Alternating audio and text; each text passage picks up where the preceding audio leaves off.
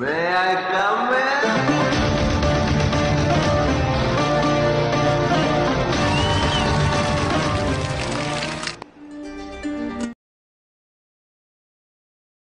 வணக்கம் நண்பர்களே நான் உங்கள் புதுவை சுதாகர். இன்றைக்கி காணொலியில் நம்ம என்ன பார்க்க போகிறோம் அப்படின்னு பார்த்தீங்கன்னா பேஸ் மேக்கர் அப்படின்னா என்ன?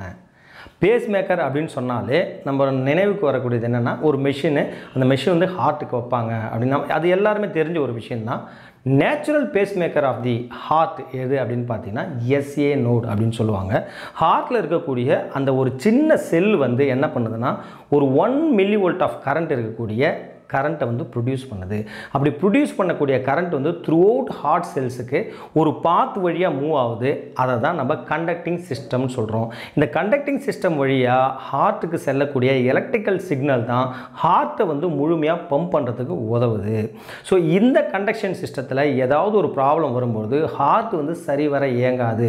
அப்படி இருக்கக்கூடிய சூழ்நிலையில் தான் இந்த பேஸ் மேக்கர் மிஷின் வைக்கிறாங்க.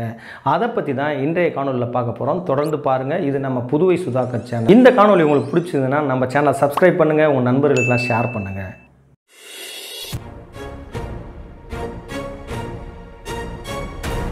பேஸ்மேக்கர் அப்படின்னு சொன்னோம்னாலே ஹார்ட்டில் கண்டக்டிங் சிஸ்டத்தில் ஏற்படக்கூடிய பாதிப்பை தான் இந்த பேஸ் மேக்கரால் நம்ம வந்து ட்ரீட் பண்ணுறோம் அப்படின்னு எடுத்துக்கலாம். ஆனால் கூட பார்த்திங்கன்னா ஹார்ட் அட்டாக் வர பேஷண்ட்டுக்கும் பேஸ் மேக்கர் பேஷண்ட்டுக்கு என்ன சம்மந்தம் இருக்கா? அப்படின்னு யோசிச்சோம்னா கண்டிப்பாக இல்லை. ஆனால் ஹார்ட் அட்டாக் வரக்கூடிய பேஷண்ட்டுக்கு இந்த கண்டக்ஷன் அப்நார்மலிட்டி வரதுக்கான வாய்ப்புகள் இருக்குது. ஸோ கண்டக்ஷன் அப்நார்மலிட்டி வந்ததுன்னா பேஸ் மேக்கர் வைப்பாங்க. ஸோ இந்த பேஸ் மேக்கரில் ரெண்டு டைப் இருக்குது ஒன்று வந்து பார்த்திங்கன்னா டெம்பரவரி பேஸ் மேக்கர் இன்னொன்று பர்மனன்ட் பேஸ் மேக்கர் இந்த டெம்பரவரி பேஸ் மேக்கர் எப்போ தேவைப்படும் அப்படின்னு பார்த்தீங்கன்னா ஒரு சர்ஜரி பண்ணக்கூடிய ஒரு சூழ்நிலையில் திடீர்னு ஹார்ட்டில் கண்டக்டிங் ப்ராப்ளம் வருது அப்படின்னா இம்மீடியட்டாக உடனே அந்த பேஷண்ட்டுக்கு டெம்பரவரி போடுவாங்க.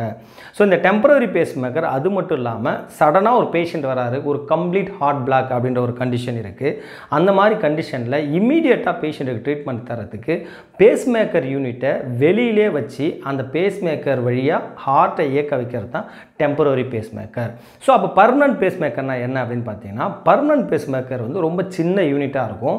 அது வந்து நம்மளோட செஸ்ட்டு பகுதியிலோ இல்லை நம்ம வயிற்று பகுதியிலோ அதை வந்து ஃபிக்ஸ் பண்ணிவிடுவாங்க நம்ம இன்டர்னலாக ஸ்கின்னுக்குள்ளார சர்ஜிக்கலாக அதை ஃபிக்ஸ் பண்ணுறதுனால த்ரூ அவுட் லைஃபு அது வந்து நமக்கு தேவைப்படக்கூடிய ஒரு சூழ்நிலையில் அதை வந்து ஃபிக்ஸ் பண்ணுவாங்க. அப்படி ஃபிக்ஸ் பண்ணக்கூடிய அந்த மெஷின் வந்து கண்டினியூஸாக ஒர்க் பண்ணுன்ற அவசியம் இல்லை. எப்போல்லாம் ஹார்ட் வந்து ஹார்ட்டோட இயக்கம் குறையுதோ அப்போ ஒர்க் பண்ணால் போதும் அப்படின்ற சூழ்நிலையில் தான் அதை ஃபிக்ஸ் பண்ணுறாங்க பேஸ்மேக்கரை பொறுத்தளவுக்கு நிறைய வெரைட்டிஸ் ஆஃப் பேசிங் மெத்தட்ஸ் இருக்குது ஸோ அது எல்லாத்தையும் இந்த வீடியோவில் நம்ம கவர் பண்ண முடியாது. இன்றைக்கு வீடியோவில் நம்ம என்ன பார்க்குறோம்னா பேஸ்மேக்கர்னால் என்ன? அது வந்து எந்த சூழ்நிலையில் பேஷண்ட்டுக்கு இம்ப்ளான்ட் பண்ணுறோம் இப்படி வைக்கக்கூடிய இந்த பர்மனன்ட் பேஸ்மேக்கர்லேயே ரெண்டு மெத்தட் இருக்குது ஒன்று பார்த்தீங்கன்னா நார்மலாக எப்பொழுதுமே இயங்கக்கூடிய ஒரு பேஸ் மேக்கர் யூனிட்டு. அது பார்த்தீங்கன்னா ஸ்டார்ட் பண்ணதுலேருந்து டில் அதனுடைய பேட்ரி எக்ஸ்பயர் ஆகிற வரைக்கும் ஒர்க் பண்ணிக்கிட்டே இருக்கும். அதை வந்து பார்த்திங்கன்னா எந்த ஒரு டிமாண்டும் இருக்காது. ரேண்டமாக ஒர்க் பண்ணக்கூடிய ஒரு மெத்தட் ஆஃப் பேசிங் இன்னொரு மெத்தட் என்ன அப்படின்னு பார்த்தீங்கன்னா டிமாண்ட் ஃபேஸிங் ஹார்ட்டோட இயக்கம் குறையும் பொழுது தானாகவே இந்த பேஸ் மேக்கர் வந்து ஒர்க் பண்ண ஆரம்பிச்சிடும் ஹார்ட்டோட ரேட் வந்து சப்போஸ் ஒரு சிக்ஸ்டி டு ஹண்ட்ரட் நார்மல் நமக்கு எல்லாருக்குமே தெரியும். அந்த ரேட் வந்து ஒரு ஃபார்ட்டியோ தேர்ட்டி ஃபைவோ குறையும் பொழுது உடனே இந்த பேஸ்மேக்கர் வந்து பிக்கப் பண்ணி ஹார்ட்டை பீட் பண்ண வைக்கும். அதிக ரேட்டில் அதாவது சிக்ஸ்டி டு ஹண்ட்ரடுக்குள்ளார நார்மல் ரேட்டு கொண்டு வந்து பீட் பண்ண வைக்கும். ஸோ இதை தான் நம்ம டிமாண்ட் பேசிங் சொல்கிறோம் இந்த டிமாண்ட் பேசிங் பண்ணுறதுனால என்னென்ன நன்மைகள் இருக்குது அப்படின்னு நீங்கள் பார்த்தீங்கன்னா டிமாண்ட் பேசிங்கில் பேட்ரி வந்து அதிக நாள் வரும். ஒரு ஐந்து ஆண்டுகள்லேருந்து ஏழு ஆண்டுகள் வரைக்கும் கூட நிறைய பேஷண்ட்ஸ் வந்து இந்த டிமாண்ட் பேசிங்னால் பயனடைகிறாங்க. இப்போ கண்டினியூஸாக பேஸ் பண்ணும்போது அதே மாதிரி பேட்டரியும் வந்து நிறைய லைஃப் கொடுக்காது. சீக்கிரம் சீக்கிரம் ஒரு த்ரீ இயர்ஸ் ஃபோர் இயர்ஸில் நம்ம வந்து பேட்டரியை மாற்ற வேண்டிய சூழ்நிலை ஏற்படும். அந்த நேரத்தில் பேஸ் மேக்கரை யூனிட்டியை மாற்றுறதுக்கான அவசியமும் ஏற்படும். ஆனால் இந்த டிமாண்ட் பேசிங்கில் பார்த்தீங்கன்னா தேவையான அளவு மட்டுமே இந்த பேஸ்மேக்கர் உபயோகத்தில் இருக்கிறதுனால ரொம்ப லாங் லைஃப் வரும்னே நம்ம சொல்லலாம். அது மட்டும் இல்லாமல் பேஸ்மேக்கரில் எந்த ஹார்ட்டோட எந்த சேம்பரில் வந்து நமக்கு வந்து பேசிங் வேணுன்றதை கூட டிசைட் பண்ணுவாங்க. இதெல்லாமே பேஷண்ட்டோட கண்டிஷனை வச்சு தான் நம்ம டிசைட் பண்ண முடியும். பேஸ் மேக்கர் மிஷின்ஸ்லேயும் நிறைய வெரைட்டிஸ் இன்றைக்கி மார்க்கெட்டில் வந்துடுது. ஏன்னு கேட்டிங்கன்னா ஒரு காலகட்டத்தில் பேஸ் மேக்கர் யூனிட்டே ரொம்ப பெருசாக இருக்கும். ஒரு ஹண்ட்ரட் ஒன் ஃபிஃப்டி கிராம் வரைக்கும் இருக்கும். இன்றைக்கி வந்து யூனிட் வந்து ரொம்ப சின்ன சைஸில் இன்வெர்ட் பண்ணியிருக்கிறாங்க அதனால் பார்த்தீங்கன்னா பேஸ் மேக்கர் பண்ணுறதும் சரி ப்ரொசீஜரும் சரி இம்ப்ளான் பண்ண பேஷண்ட்டும் ரொம்ப கம்ஃபர்டபுளாகவே ஃபீல் பண்ணுறாங்கன்னு சொல்லலாம். ஓகே இந்த பேஸ் மேக்கர் ப்ரொசீஜரை எப்படி பண்ணுவாங்க? நார்மலாக செய்யக்கூடிய ஆன்ஜியோ பண்ணக்கூடிய அதே தேட்டர் செட்டப்லேயே இந்த பேஸ் மேக்கரை பண்ணிவிடுவாங்க பேஸ்மேக்கர் பார்த்திங்கன்னா பார்த்தீங்கன்னா நம்மளோட செஸ்ட் பகுதியில் ஃபிக்ஸ் பண்ணிவிட்டு அதை அதனுடைய லீட்ஸ் எடுத்துகிட்டு போயிட்டு ஹார்ட்டோடைய இன்னர் சேம்பர் உள்ளார வச்சுருவாங்க.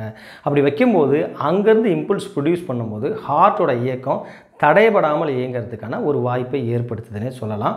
இது வந்து நார்மலாக ஆஞ்சியோ செய்யக்கூடிய அதே தேட்டர் செட்டப்லேயே பண்ணுவாங்க. ஏன்னா இந்த ப்ரொசீஜர் வந்து ஒரு இன்வாசிவ் ப்ரொசீஜரு ஆனால் டெம்பரவரி பேஸ் மேக்கர் பார்த்திங்கன்னா நார்மல் ஐசியூலே நம்ம வந்து பண்ணலாம். ஒரு ஐசியூ கேரில் இருக்கக்கூடிய பேஷண்ட்டுக்கு சடனாக தேவைப்படுதுன்னா டெம்பரவரி பேஸ் மேக்கர் உடனே பண்ணிவிடுவாங்க இந்த பர்மனன்ட் பேசிங் பண்ணுறது கண்டிப்பாக ஒரு கேத்லாப் செட்டப் வந்து அவசியம்னே சொல்லலாம். ஓகே நண்பர்களே இந்த காணொலியிலிருந்து பேஸ்மேக்கர்னா என்ன? பேஸ் மேக்கர் எப்போ அவசியமாக தேவைப்படுன்றதை பற்றி ஓரளவுக்கு நமக்கு ஒரு ஐடியா கிடைச்சிருக்குன்ற நம்பிக்கையோடு மீண்டும் இதே போன்ற ஒரு காணொளியோடு நான் உங்களை சந்திக்கிறேன். நான் உங்கள் பிஎஸ் நன்றி வணக்கம்.